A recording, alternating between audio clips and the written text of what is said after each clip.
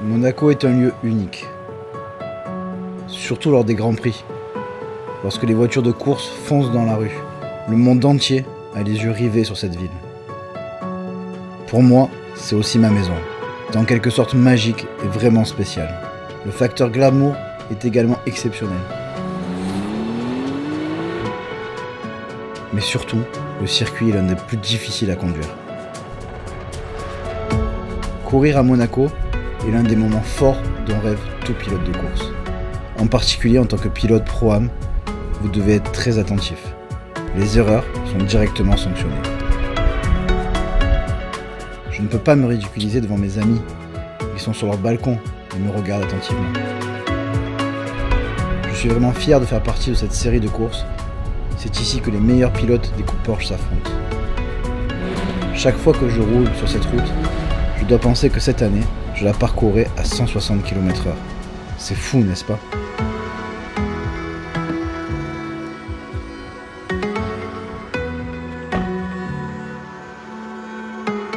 Hi, I am Nicolas Misselin, Pro-Am Racing Driver for Lechner Racing.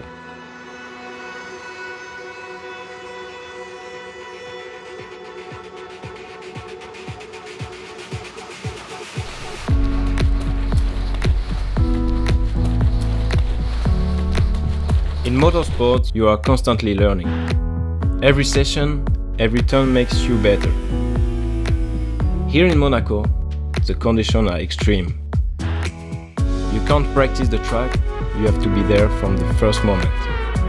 And that's what excites me. I love challenges, I always have. Hi, I'm Dorian Boccolacci, rookie driver for Martinet by Almeras. I know this circuit already from my times in Formula 2. Even in Porsche Super Cup, the rules on the street of Monte Carlo are still the same. If only the paint is scraped off by the briars, you are a genius. Everything else, you have already lost.